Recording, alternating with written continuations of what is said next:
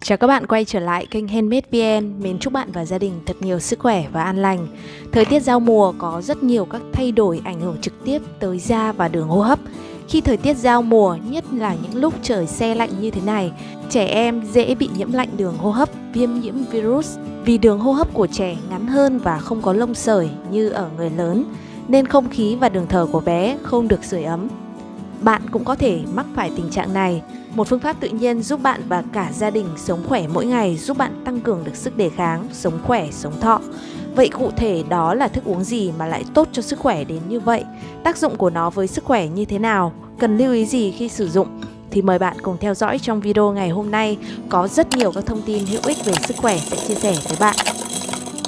Và bây giờ chúng ta cùng thực hiện Nguyên liệu đầu tiên cho công thức ngày hôm nay đó chính là chanh đào. Bạn có thể sử dụng chanh xanh hay chanh vàng hoặc bất cứ loại chanh nào mà các bạn đang sẵn có. Từ lâu thì chanh đào được xem như là một phương thuốc trị ho rất hiệu quả của người Việt. Cách làm mứt chanh, gừng để trị ho cũng không quá khó. Bạn hoàn toàn có thể thực hiện được để có được siro chanh đào giúp đánh bay cơn ho cho cả nhà. Các bạn hãy chuẩn bị 30g dấm trắng cho vào tô, sau đó thêm vào là nước lọc hòa tan. Hỗn hợp nước giấm là một trong những hỗn hợp mà giúp bạn loại bỏ được tồn dư thuốc bảo vệ thực vật rất hiệu quả, lên đến 90 đến 95%. Công thức này mình sẽ sử dụng 2 kg chanh đào, bạn có thể giảm lượng chanh nếu như gia đình có ít người nhé. Ngâm trong khoảng thời gian 15 phút.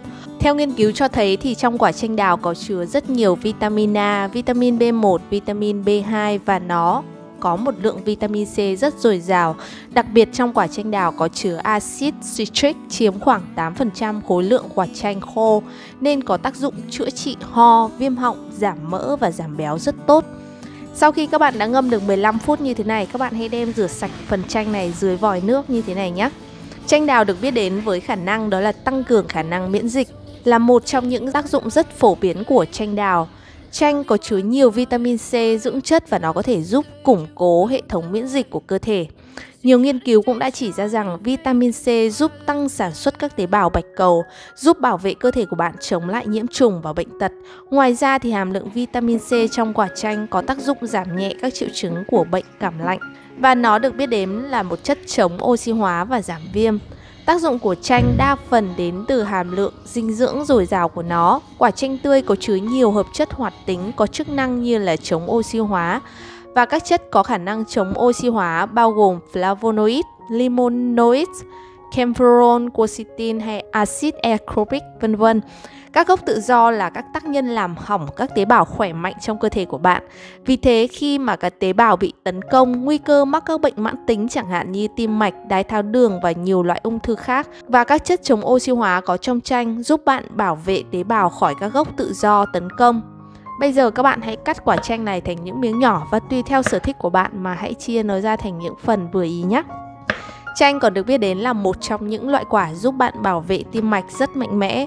Một nghiên cứu được dẫn đầu bởi tiến sĩ Frank Hus, giáo sư y khoa tại trường E Harvard, cho thấy rằng thực phẩm giàu vitamin C có khả năng bảo vệ chống lại bệnh tim mạch vành. Các chất chống oxy hóa flavonoid có trong chanh giúp giảm mức cholesterol xấu LDL và chất béo trung tính trong cơ thể.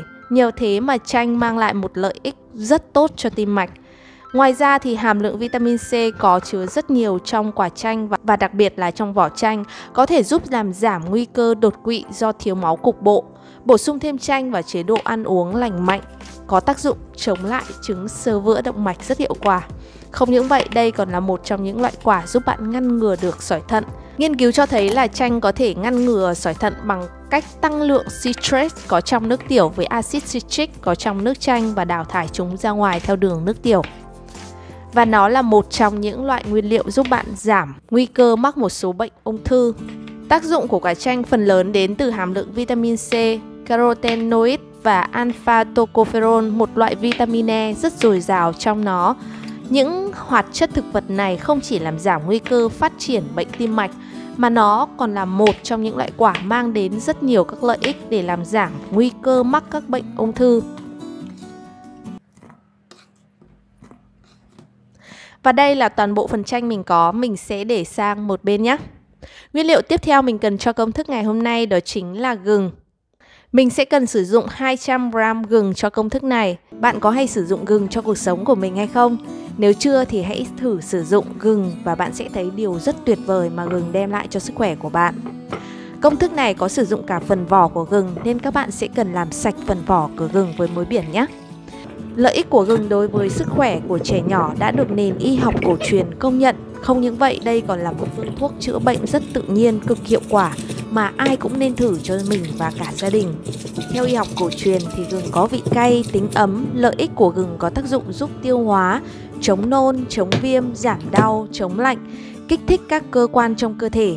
Ngày nay có rất nhiều các nghiên cứu khoa học được chứng minh là có tác dụng của gừng đối với cơ thể là cực kỳ hiệu quả. Nó giúp bạn điều trị các bệnh về đường hô hấp. Theo Trung tâm Kiểm soát và Phòng ngừa Dịch bệnh của Hoa Kỳ thì mỗi năm có hơn 20.000 trẻ em mắc bệnh cúm.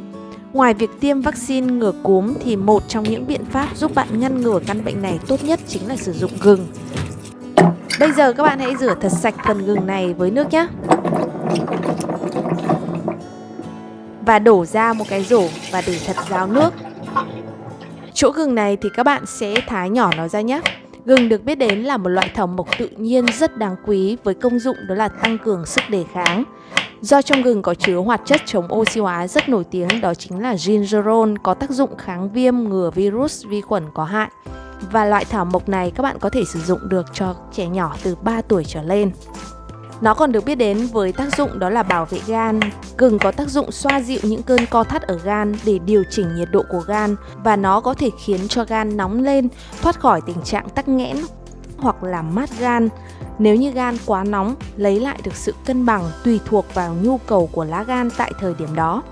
Và trong gừng có chứa nhiều vitamin và khoáng chất rất cần thiết cho cơ thể như là vitamin C, vitamin B3, vitamin B6, vitamin B9, phosphor, niacin, kali, magie, kẽm và riboflavin. Sau khi các bạn đã cắt xong phần gừng như thế này rồi, các bạn sẽ cho toàn bộ vào máy xay và thêm vào đó là 500ml nước, sau đó xay thật nhuyễn. Và đây là toàn bộ phần gừng mình đã xay xong. Mình sẽ cho toàn bộ phần gừng này vào tô đựng chanh và trộn đều.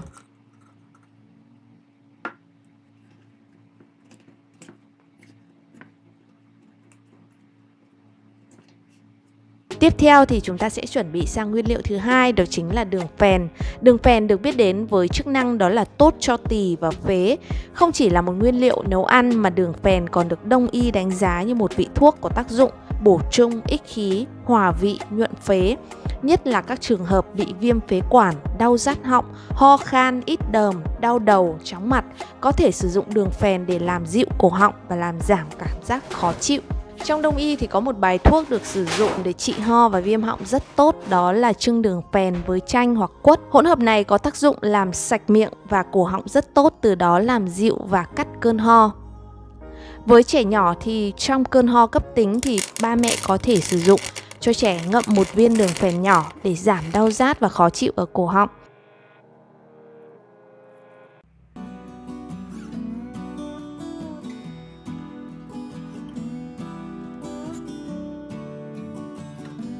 Bây giờ các bạn sẽ cho toàn bộ phần đường phèn này vào tô đựng chanh gừng và trộn đều nhé. Mình sẽ cần cho nó sang một cái tô lớn hơn để trộn được dễ hơn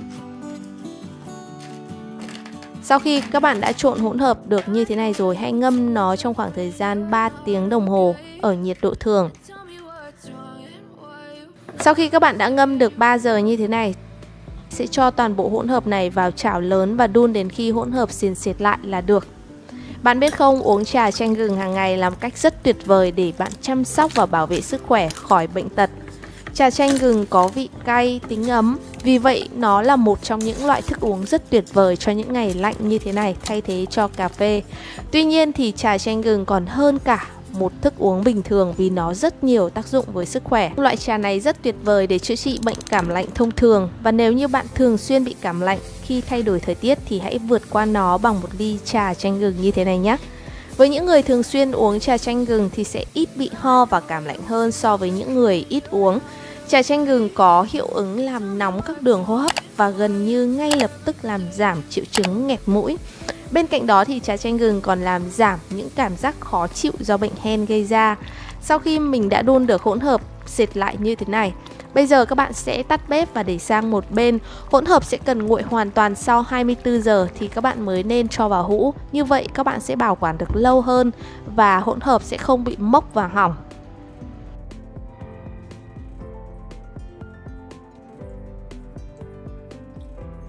Sau khi các bạn đã để nguội hoàn toàn như thế này rồi, hãy cho vào một hũ thủy tinh và dùng dần nhé.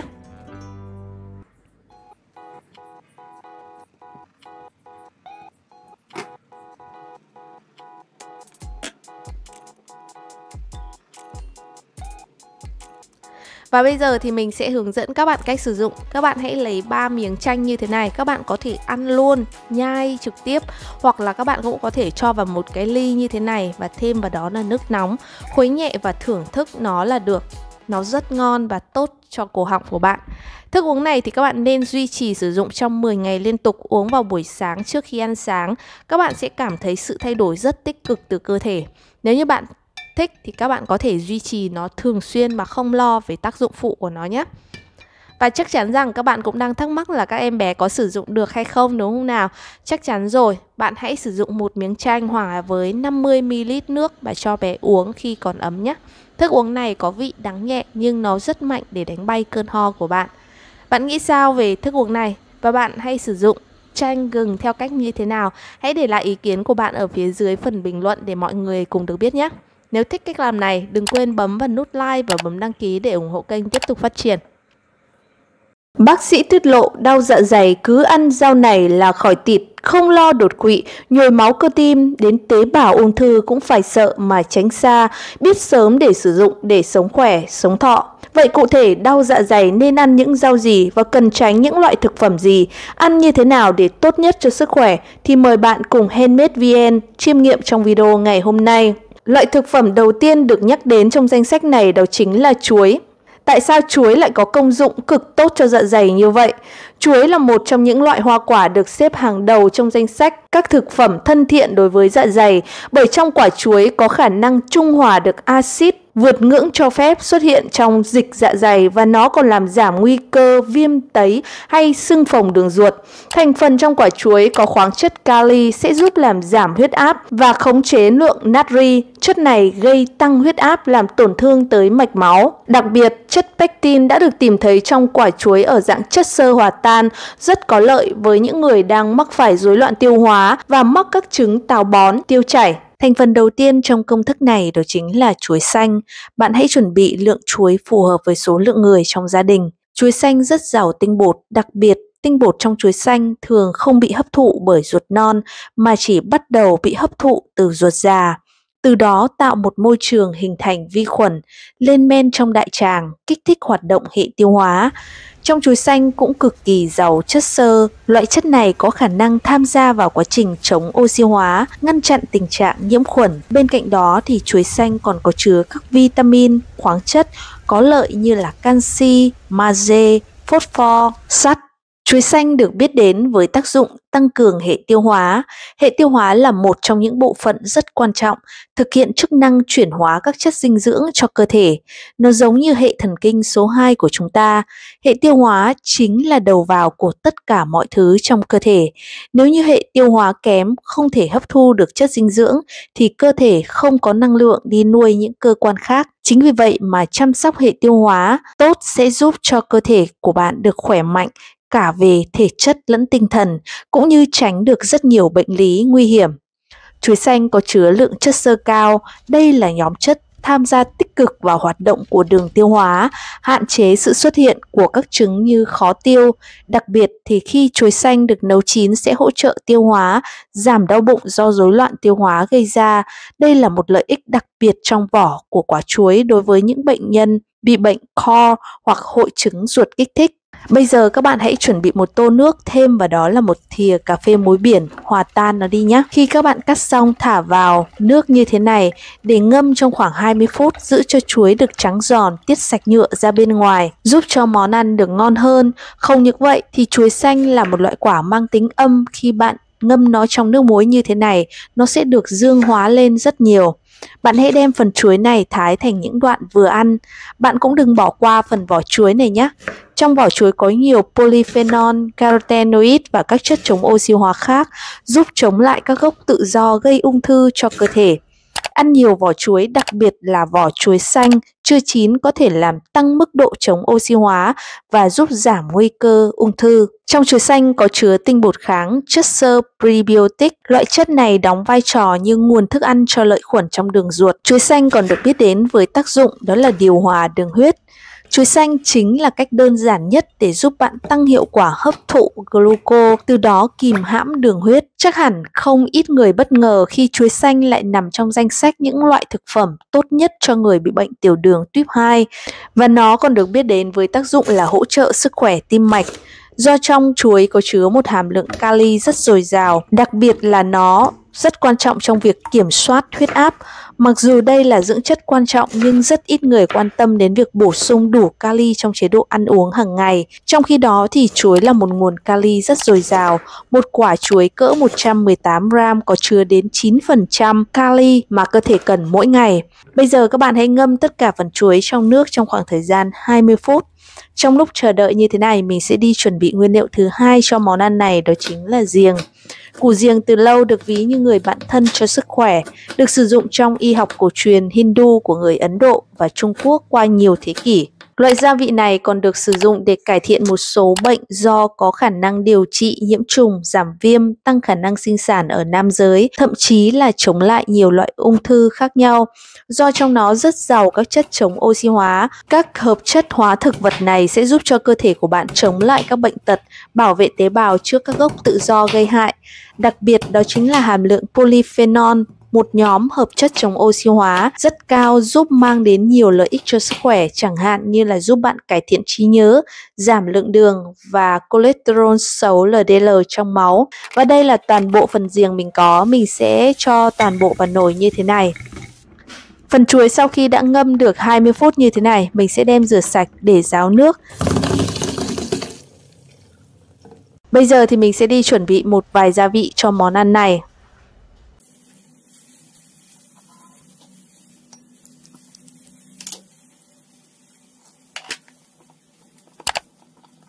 Bây giờ các bạn hãy chuẩn bị một cái chảo, tốt nhất là nên sử dụng chảo gang, không dùng hóa chất chống dính, chứa hợp chất có hại cho sức khỏe, nên chúng còn giúp cho bạn bổ sung lượng sắt rất cần thiết cho cơ thể, cũng như đảm bảo an toàn về sức khỏe. Dầu ăn các bạn cho vào chảo như thế này, sau đó cho chuối vào chiên sơ nhé. Bước này cũng rất quan trọng do bản thân chuối mang tính âm nên muốn dương hóa thì các bạn nên chiên sơ như thế này hoặc đem nướng sơ trên bếp củi. Món ăn này giúp cho bạn kiểm hóa nước tiểu và ngăn ngừa bệnh gút. Nhiều chuyên gia nổi tiếng của Nhật Bản như bác sĩ Yoshio Otani, tiến sĩ nông nghiệp Makoto Tajima và bác sĩ nội khoa Shinichiro Otake cùng nghiên cứu lợi ích của chuối đối với sức khỏe. Một trong số đó đó chính là làm giảm axit uric và ngăn ngừa bệnh gút. Axit uric có trong máu quá cao và các tinh thể tích tụ chậm ở các khớp có thể gây ra bệnh gút. Chuối giúp cho bạn kiềm hóa nước tiểu, giúp axit uric hòa tan vào nước tiểu, từ đó nó được đào thải ra ngoài, làm giảm axit uric ở trong máu. Bây giờ các bạn sẽ cho toàn bộ phần chuối này vào nồi, thêm vào đó là các gia vị đã chuẩn bị. Đặt lên bếp và nấu trong khoảng thời gian 30 phút với lửa nhỏ, tính từ lúc nước sôi. Đây cũng là một trong những món ăn giúp bạn làm giảm căng thẳng và cải thiện giấc ngủ rất hiệu quả. Do nó rất giàu vitamin và các nguyên tố vi lượng, khi lượng magie dồi dào đi vào cơ thể có thể giúp bạn giảm căng thẳng, giúp thư giãn não bộ và cải thiện giấc ngủ, giúp ổn định việc tiết melatonin và serotonin điều chỉnh chu kỳ giấc ngủ được tốt hơn, giúp cải thiện giấc ngủ. Chính vì vậy mà những người mất ngủ thường xuyên có thể xoa dịu cảm xúc và cải thiện giấc ngủ bằng cách đó là sử dụng chuối trước khi đi ngủ liên tục trong một tháng. Sau khi các bạn đã nấu được 30 phút như thế này, hãy tắt bếp và thưởng thức món ăn này nhé. Tuy có rất nhiều các giá trị có lợi cho sức khỏe, mỗi tuần các bạn chỉ nên sử dụng từ 2 đến 3 bữa như thế này thôi nhé. Một tuần các bạn nên đa dạng nhiều loại rau củ quả nhiều màu sắc để nhận được tối đa vitamin và khoáng chất từ thiên nhiên. Thứ hai, hãy sử dụng nghệ và mật ong, hỗn hợp tinh bột nghệ hoặc nghệ tươi và mật ong là một trong những bài thuốc đông y chính trong việc điều trị bệnh viêm lết dạ dày. Nghệ còn có tác dụng chống viêm, giảm tiết dịch vị, kiềm hóa độ axit của dịch vị và mật ong cũng có tác dụng điều hòa nồng độ axit tại dạ dày, tránh tình trạng kích ứng dạ dày. Thứ ba, hãy sử dụng đậu bắp. Đậu bắp là một trong những loại quả rất phổ biến trong những ngày hè. Loại quả này được các chuyên gia đánh giá nó là thực phẩm vàng trong việc bảo vệ cũng như chăm sóc cho dạ dày. Đậu bắp có chứa nhiều chất như caroten, vitamin B, vitamin C, vitamin E, pectin và các hoạt chất khác là các chất dinh dưỡng có nhiều tác dụng bổ dưỡng cho cơ thể. Hơn nữa còn đặc biệt có tác dụng tốt cho dạ dày. Điều đặc biệt nhất ở trái đậu bắp chính là chất nhầy có trong loại quả này mà chúng ta nhận biết được chúng khi ăn. Đây cũng chính là chất protein kết dính và cộng thêm việc nhiều chất như là polysaccharide, pectin và một số chất khác giúp cho việc làm lành các vết viêm lét trong dạ dày một cách rất tuyệt vời. Có khả năng sẽ bảo vệ tốt cho niêm mạc dạ dày, đồng thời có khả năng ngăn ngừa các nguy cơ gây tổn thương tới niêm mạc trong dạ dày. Số lượng đậu bắp thì các bạn hãy chuẩn bị tùy theo nhu cầu của gia đình mình nhé. Các bạn cho toàn bộ phần đậu bắp vào tô. Sau đó thêm vào một thìa muối hạt. Và thêm vào đó là nước. Các bạn sẽ ngâm phần đậu bắp ở trong nước 10 phút để có thể rửa sạch được lớp bụi bẩn phía ngoài. Đậu bắp được biết đến với tác dụng đó là ngăn ngừa bệnh thiếu máu do trong đậu bắp rất giàu vitamin K, vitamin B, sắt, kali, kẽm, canxi, mangan và magie vân vân, giúp tạo ra nhiều tế bào hồng cầu hơn cho cơ thể. Bạn sẽ rửa sạch phần đậu bắp như thế này và đậu bắp còn được biết đến với tác dụng đó là hỗ trợ điều trị bệnh tiểu đường, trong đậu bắp có chứa một chất giống như insulin, nó giúp làm giảm lượng đường ở trong máu, rất có lợi cho quá trình hỗ trợ điều trị bệnh tiểu đường.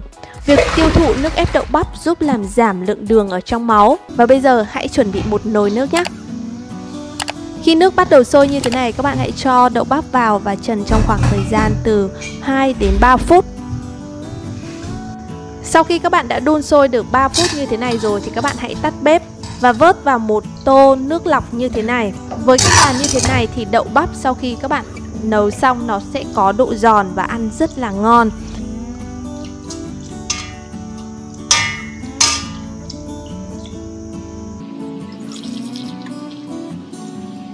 Sau khi các bạn ngâm nguội phần đậu bắp như thế này rồi thì chúng ta sẽ thái nhỏ nhé. Thường thì mình hay thái vát chéo như thế này để tạo độ hấp dẫn cho món ăn. Bạn cũng có thể tạo hình tùy theo sở thích của gia đình của bạn nhé. Và đậu bắp là một trong những loại rau củ quả giúp cải thiện sinh lý của nam giới. Không những vậy, đây còn là một trong những loại thực phẩm giúp giảm mức cholesterol. Theo các chuyên gia dinh dưỡng thì đậu bắp có chứa nhiều chất xơ hòa tan nên giúp cơ thể giảm mức cholesterol. Việc tiêu thụ thường xuyên đậu bắp có thể làm giảm mức cholesterol ở trong máu và bảo vệ tim mạch của bạn. Và đây là toàn bộ phần đậu bắp mình đã thái xong. Mình sẽ cho phần đậu bắp này vào một cái đĩa.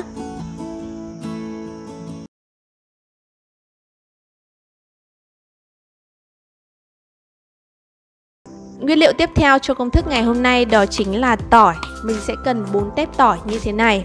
Tỏi này các bạn hãy thái ra rồi bằm nhuyễn. Tỏi không chỉ là một loại gia vị thiết yếu trong nhà bếp, giúp tăng hương vị cho các món ăn mà nó còn rất nhiều tác dụng trong việc phòng và điều trị bệnh tim mạch, ung thư, huyết áp, nhiễm trùng, xương, khớp. Tỏi giúp lọc độc tố ở trong máu. Hợp chất allicin có trong tỏi giúp loại bỏ các chất độc hại trong cơ thể đồng thời tăng cường các tế bào bạch cầu khỏe mạnh. Ngoài ra thì allicin còn giúp loại bỏ nicotine, thanh lọc máu và làm sạch hệ hô hấp rất hữu ích. Và đây là toàn bộ phần tỏi mình có, mình sẽ để sang một bên nhé.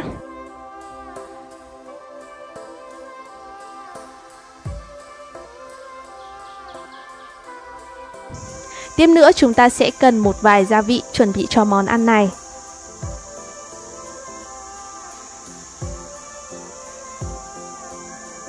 Các bạn hãy cho tất cả vào một cái tô và hòa tan nó nhé.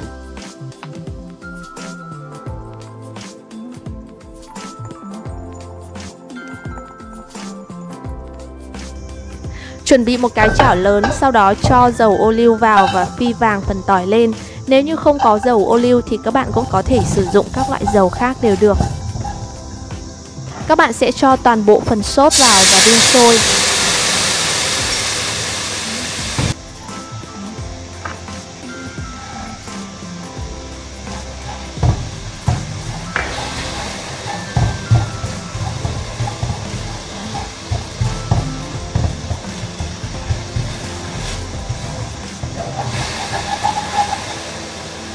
Và đây là toàn bộ phần sốt mình có Mình sẽ cho vào một cái đĩa như thế này nhé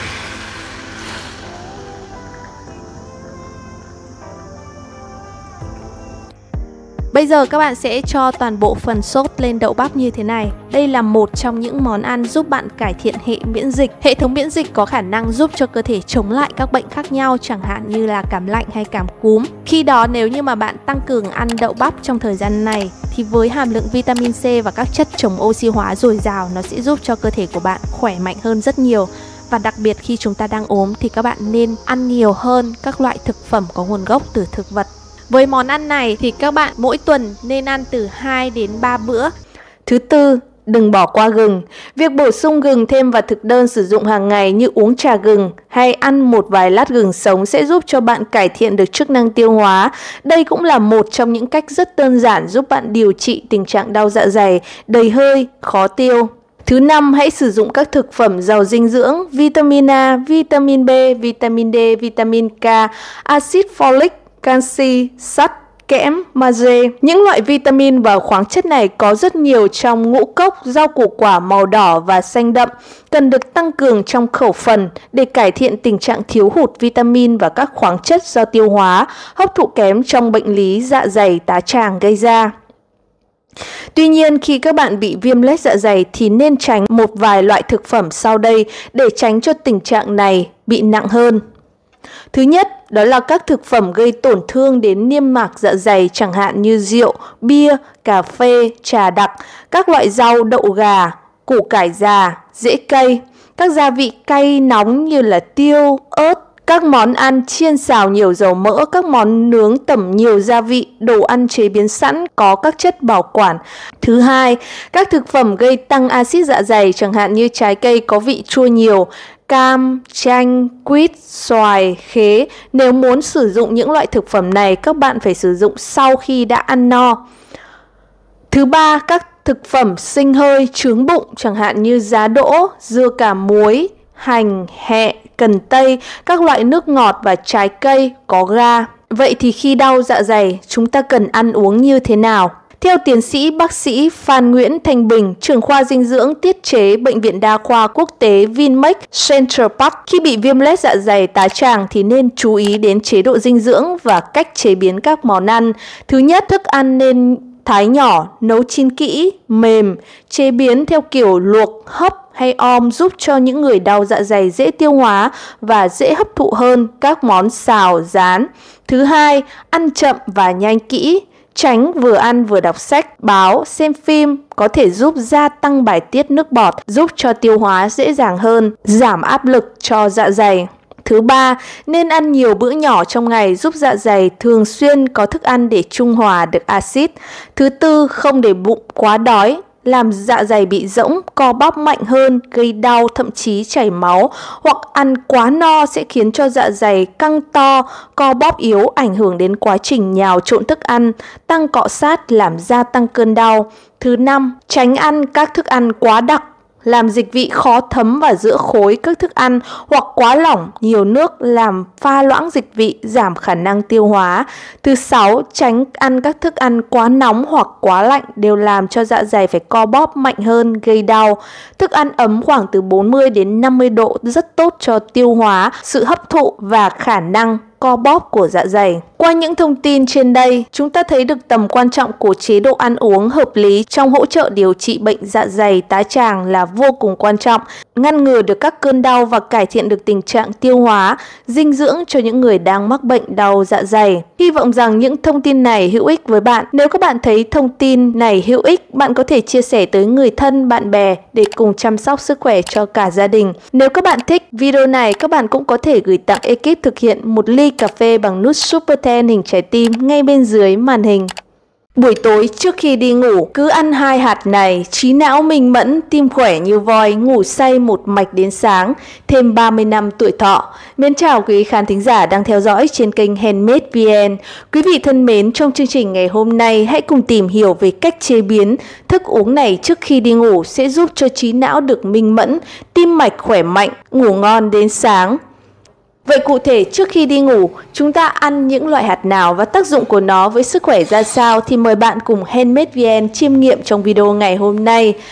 Nguyên liệu đầu tiên mình sử dụng đó chính là hạt đậu trắng. Theo Bone Sky, hạt đậu trắng chứa nhiều khoáng chất và vitamin nên rất có lợi cho sức khỏe. Củ ngon luôn đóng một vai trò cực kỳ quan trọng đối với sức khỏe. Các chuyên gia cũng khuyên rằng người lớn từ 18 đến 60 tuổi nên ngủ ít nhất từ 7 đến 8 giờ mỗi đêm. Việc ngủ quá ít hoặc quá nhiều có thể làm tăng khả năng nguy cơ trầm cảm, tiểu đường, bệnh tim hay các vấn đề về sức khỏe khác. Thế nhưng nhiều người lại cảm thấy không dễ dàng gì để có thể ngủ ít nhất được 7 giờ mỗi đêm. Bạn nên uống gì dễ ngủ mà không lo tác dụng phụ như thuốc an thần thì bạn cũng có thể sử dụng Cân nhắc loại thức uống này, đậu trắng là một trong những loại hạt có tác dụng hỗ trợ giấc ngủ rất hiệu quả, do trong nó rất giàu magie, một khoáng chất cần thiết cho giấc ngủ. Một nghiên cứu được công bố trên tạp chí y học thấy rằng khi nồng độ magie trong cơ thể quá thấp sẽ khiến cho chúng ta bị trằn trọc và khó ngủ. Đậu trắng là loại hạt với nhiều chất xơ, vitamin và khoáng chất tốt cho sức khỏe. Nó có thể giúp bạn cải thiện được giấc ngủ. Đậu trắng hay hạt mè đã được sử dụng trong y học cổ truyền của Iran trong nhiều năm để điều trị chứng mất ngủ. Sữa được làm từ đậu trắng có chứa rất nhiều hormone và các khoáng chất giúp thúc đẩy giấc ngủ bao gồm tryptophan, melatonin và magie cho thấy được tiềm năng điều trị được chứng mất ngủ đặc biệt ở người lớn tuổi. Nó còn được biết đến với tác dụng là bổ sung protein cho cơ thể. Đậu trắng là một trong những nguồn protein rất dồi dào. Khi bạn kết hợp với một chế độ tập luyện hợp lý và chế độ ăn uống bổ dưỡng, chúng có thể thúc đẩy khối lượng cơ bắp được khỏe mạnh. Các axit amin là thành phần cấu tạo của protein, đóng vai trò chính trong nhiều quá trình của cơ thể, bao gồm xây dựng cơ bắp, vận chuyển chất dinh dưỡng và sản xuất hormone. Tác dụng thứ ba đó là thúc đẩy sức khỏe của tim mạch. Đậu trắng rất giàu kali giúp ngăn ngừa các bệnh liên quan đến tim mạch. Thêm vào đó, đậu trắng còn có hàm lượng calo thấp và ít chất béo, có thể ngăn chặn sự tích tụ cholesterol trong động mạch, giúp giảm tình trạng sơ vữa động mạch và các biến chứng sức khỏe như đau ngực, đau tim và đột quỵ. Nó còn được biết đến với tác dụng thứ tư đó là cải thiện hệ tiêu hóa. Hàm lượng chất xơ có trong loại đậu này sẽ thúc đẩy hoạt động của nhu động ruột, loại bỏ nguy cơ táo bón. Ngoài ra thì đậu trắng còn giúp làm sạch cholesterol tích tụ ở trong ruột non và ruột già, nhờ đó mà sẽ đào thải được các chất cặn bã ra khỏi cơ thể. Tác dụng thứ năm đó chính là cân bằng huyết áp. Mức natri thấp cùng với hàm lượng kali dồi dào của đậu trắng sẽ giúp bạn cân bằng được huyết áp một cách tự nhiên. Huyết áp cao có thể dẫn đến những hậu quả rất nghiêm trọng như đột quỵ. Do đó mà việc bổ sung đậu trắng vào chế độ dinh dưỡng hay ăn uống của bạn sẽ giúp cho huyết áp được ổn định hơn. Và đậu trắng còn được biết đến với tác dụng đó là ngăn ngừa bệnh thiếu máu. Đậu trắng rất giàu sắt và vitamin B9 nên rất có lợi cho việc cải thiện số lượng hồng cầu và nồng độ hemoglobin ở trong máu. Ngoài ra, đậu trắng còn có công dụng sản sinh ra lượng máu cần thiết đi nuôi cơ thể và làm giảm tình trạng hoa mắt chóng mặt thường xuyên. Với công thức này mình sẽ sử dụng 40g đậu trắng đem ngâm 8 tiếng trước khi nấu. Trong vỏ của đậu trắng thì có chứa nhiều chất dinh dưỡng, tuy nhiên nó sẽ làm giảm quá trình hấp thụ và gây khó khăn cho hệ tiêu hóa. Chính vì vậy khi bạn sử dụng loại hạt này thì chúng ta cần ngâm trước từ 8 đến 12 tiếng. Việc bạn ngâm như vậy sẽ giúp cho việc hấp thụ dinh dưỡng được tốt hơn và không gây khó tiêu, đầy hơi hay trướng bụng. Và đây là toàn bộ phần đậu trắng mình đã ngâm. Bây giờ mình sẽ đem rửa sạch lại với nước và để sang một bên nhé. Thành phần thứ hai cho công thức này đó chính là gạo trắng. Bạn có thể sử dụng gạo lứt hoặc bất cứ loại gạo nào mà các bạn có sẵn. Trong thực dưỡng có một tỷ lệ vàng đó là khi chế biến những loại sữa hạt là tỷ lệ ngũ cốc sẽ chiếm 60%, các loại hạt sẽ chiếm 40%. Với công thức này mình sẽ sử dụng 60 g gạo, sau đó đem rửa sạch để loại bỏ phần bụi bẩn. Gạo là một trong những thực phẩm giúp cho bạn bổ sung năng lượng rất hiệu quả. Gạo là một nguồn cung cấp carbohydrate khá hiệu quả cho cơ thể. Trong 100 gram gạo có khoảng 28 gram carbohydrate làm tăng năng lượng cho cơ thể, hoạt động hiệu quả hơn. Bây giờ các bạn hãy đem rang vàng phần gạo này đi nhé. Ngoài ra thì các chuyên gia còn cho biết hàm lượng vitamin B có trong loại gạo này còn thúc đẩy mức năng lượng của cơ thể trở nên dồi dào hơn. Tác dụng thứ hai mà nó đem đến cho cơ thể đó là giúp chắc khỏe xương. Giá trị dinh dưỡng của gạo có tác động nhất định đối với xương khớp. Bạn biết không, hàm lượng canxi có trong gạo có chứa khoảng 10mg canxi trên 100g gạo, giúp xương của bạn được chắc khỏe hơn và giảm nguy cơ loãng xương, sâu răng hay gãy xương. Nó cũng là một trong những thành phần giúp cho ruột kết được khỏe mạnh. Một nghiên cứu cho thấy các kháng tinh bột có trong gạo sau khi được nấu chín và được làm nguội sẽ có thể hỗ trợ được axit béo ở ruột kết hoạt động được khỏe mạnh hơn, giảm tỷ lệ mắc bệnh về đại tràng, trong đó có ung thư đại tràng. Sau khi các bạn đã rang xong như thế này, các bạn hãy chuẩn bị một máy làm sữa hạt nhé. Và đây là thành phần nguyên liệu chúng ta cần chuẩn bị. Bây giờ các bạn hãy cho tất cả toàn bộ nguyên liệu vào máy, thêm vào đó là một lít nước. 20 g đường, nếu bạn là người bị bệnh tiểu đường thì hãy bỏ qua phần nguyên liệu này nhé. Bây giờ bật chế độ nấu sữa hạt và chờ thành phẩm là xong. Và đây là thành phẩm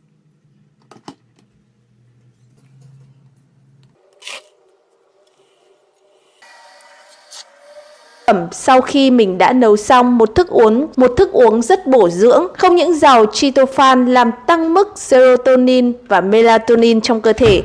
Melatonin có thể thúc đẩy giấc ngủ và giúp chống lại các rối loạn giấc ngủ khác nhau, bao gồm jet lag, rối loạn giấc ngủ, làm việc theo ca và mất ngủ.